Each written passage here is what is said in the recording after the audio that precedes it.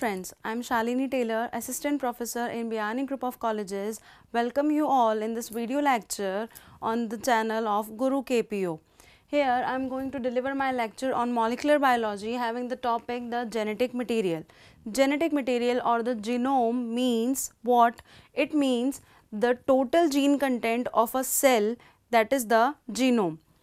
Now, the gene uh, or the genetic material is classified under two categories that is the DNA and the RNA. Uh, DNA means the deoxyribonucleic acid and RNA means ribonucleic acid.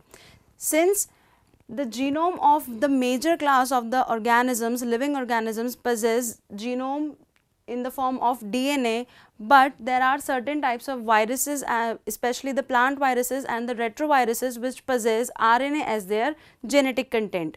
Now, we move on to the basic differences and the building blocks of the DNA and the RNA that is the genetic material. First thing, the nucleotides are the building block of the DNA or the RNA. Nucleotide means the presence of three parts that is the sugar content, phosphate content and the nitrogenous base. What are the nitrogenous bases? Nitrogenous bases forms the major class on the basis of which we can distinguish between the DNA and the RNA. How? this uh, can we can do this by the help of their categories like the nitrogenous bases are further classified into two classes. The first class is the purines and the second is the pyrimidines or pyrimidines. The purines possess two types of uh, nitrogenous bases. The first one is the adenine and the second one is guanine. Adenine and the guanine having the symbol a capital A and G respectively. These structures are the two ring structure having the one cyclic structure and the imidazole ring. Next class is the pyrimidines having the three different types of nitrogenous bases. Thymine stands for T, cytosine for capital C and uracil for the U. Now the uracil, cytosine and thymine these are the pyrimidine classes having a possessing the single ring structure. Now the basic thing is the DNA possess adenine, guanine and thymine and cytosine as their nitrogenous bases whereas the RNA that is the ribonucleic acid possess adenine, guanine, cytosine and uracil as their uh, nitrogenous bases. Moving on to the sugar molecule again the sugar molecule is being classified into the two classes that is the ribose sugar and the deoxyribose sugar on the basis of which the name is given that is the DNA deoxyribonucleic acid and the ribonucleic acid RNA.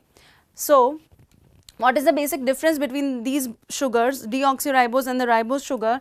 The deoxyribose sugar having the absence of a hydroxyl group on the second carbon, whereas in the ribose sugar, the hydroxyl group is present on the second carbon. So, because of the absence of the hydroxyl group on the uh, on the second carbon or you can say simply the absence of the oxygen atom at the second carbon of the uh, deoxyribose sugar. The name is given deoxy. Deoxy means that the oxygen is absent right? So this is how the name is given deoxyribose sugar and the ribose sugar. Moving on to the third and the most important part of the nucleotide that is the presence of a phosphate group in the form of H3PO4 so the combination of these three things make a complete nucleotide and when these types of nucleotides in the form of ATP, GTP, CTP, TTP combines with each other by the help of a specific kind of bond known as the phosphodiester linkage or the phosphodiester bond,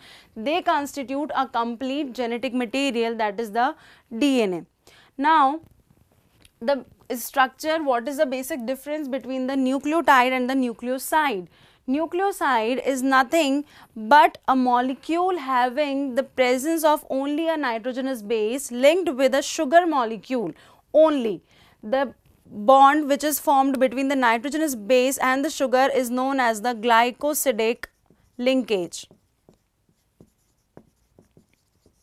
So, whenever someone asks you about nucleoside, then you can simply say nucleoside is a molecule possessing a specific kind of sugar, either deoxyribose or the ribose sugar along with a specific kind of nitrogenous base. But when this nucleotide is constituted or having the presence of a phosphate group along with it, it is now it is now converted into a, a major class of the uh, genetic material known as nucleotide. That means nucleotide consists the sugar, phosphate and the nitrogenous base, right.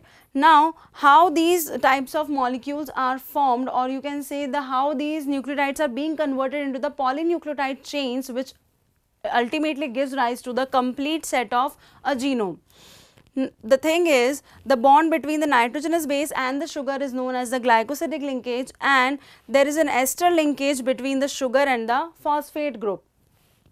Now what happens the 3 prime end or the 3 prime carbon of the sugar molecule having the presence of a hydroxyl group eh, that means it has the valency or the free valency to join to the next nucleotide in the manner like this sh shown in the figure.